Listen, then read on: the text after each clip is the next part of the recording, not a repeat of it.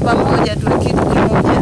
Nyinyi kama madalali muendeleze shughuli zenu, na sisi kama serikali tuweze kuingiza lile pato ambalo tumekusudia.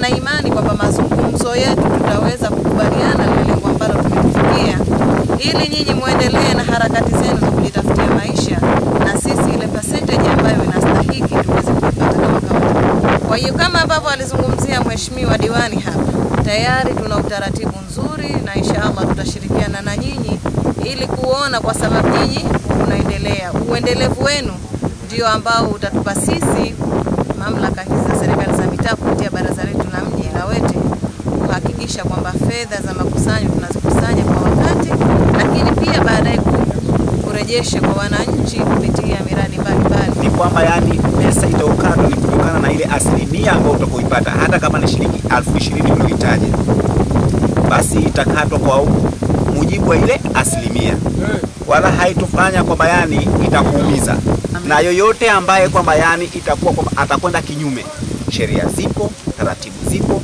utafuata taratibu, alimradi kwamba yani uhakikishe kwamba yani swala la unadishaji ame yuko mtu huyu mmoja ndiye anatambulika. Lengo la madhumuni ya ziara hii ni kuonana nao na tukawaeleza hali halisi ya serikali inavyotaka dhidi ya wa- wa- wa- wa- wafanyakazi wetu wa, wa, wa bandarini na wanaoshughulikia wale wavuvi wetu.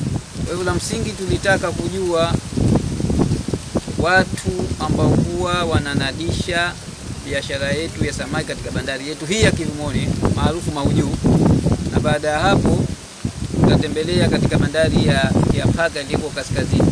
kupata taarifa yako leo kama utakuja na unataka kuzungumza na madalali ambao kwa wanahusika na mauzo ya samaki katika bandari hii. Kwa hiyo niseme tu karibuni, na waliopo mbele yenu ni madalali wawili, dalali mkuu na msaidizi wake, na wako tayari kuwasikiliza kwa kile ambacho kwa mmekuja nacho. Swali lililokuja kutoka kwenye serikali kwa ajili ya kupata kulipa mapato kwa wavuvi kutokana na asilimia yenyewe iliyotajwa, basi kwangu mimi nalipokelea kwamba ni poa tu, wala hakuna matatizo yote.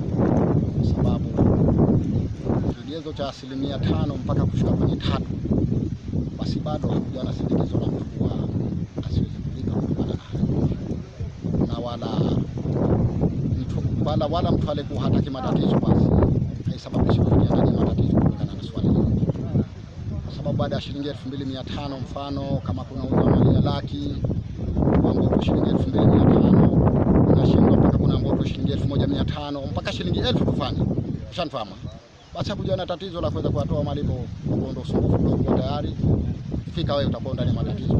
Dalili wenzangu nawaambia ni kwamba na nasi kwamba tayari kama mimi nitakuwa sipo, basi tayari usimamizi uwepo kama nilivyokuwa niko hapo mimi nasimamia, na wataiona hali nitakavyoendelea nao. Wakati hili swali lishaanza hivi sasa, wataiona hali nitakavyoendelea.